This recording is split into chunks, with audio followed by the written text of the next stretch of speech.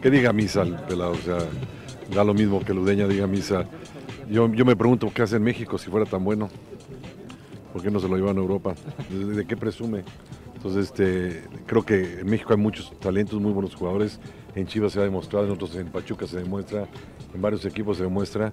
Y creo que al final de cuentas yo sigo insistiendo que el traer tantos extranjeros bloquea el camino de los mexicanos. Pues yo creo que el error es que está totalmente equivocado, que haya uno o dos por ahí medio baquetones en el fútbol mexicano.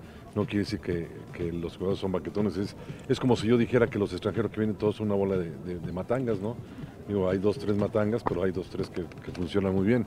Entonces no puede generalizar en primer lugar, en segundo lugar, pues que no le dé patadas al pesebre, que no sea, güey, pues este, de, de aquí vive, es mexicano, entonces creo que la regó.